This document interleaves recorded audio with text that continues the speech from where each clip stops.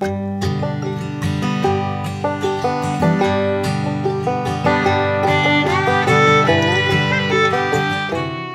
Juventus logró vencer al Empoli con marcador de 3 a 2 en la jornada 27 de la Serie A 2021 a 2022.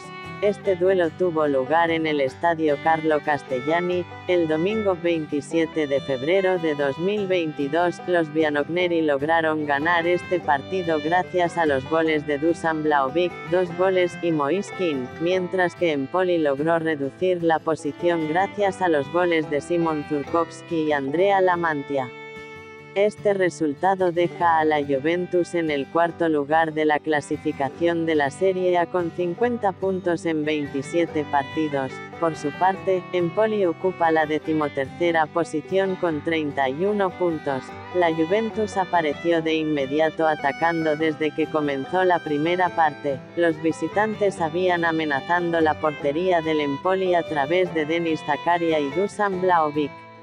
El esperado gol de la Juventus finalmente llegó en el minuto 32, Moiskin marcó de cabeza tras un centro de Adrien Rabiot, sin embargo, la ventaja de la Juventus no duró mucho, porque, Empoli logró igualar siete minutos después a través de un toque de Simon Zurkowski, luego de que se produjera una crisis frente a la portería de la Juventus.